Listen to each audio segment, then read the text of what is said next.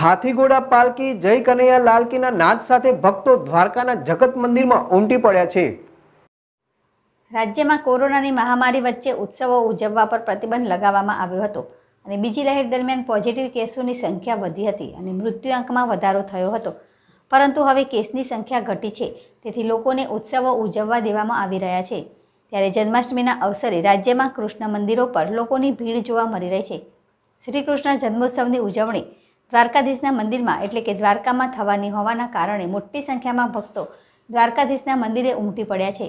દ્વારકાધીશના જગત મંદિરના દ્વાર સવારે નવ પંદર પછી ભક્તો માટે ખુલ્યા હતા અને ભગવાનના દર્શન કરવા માટે લોકો લાંબી લાઈનો લગાવીને ઊભા હતા.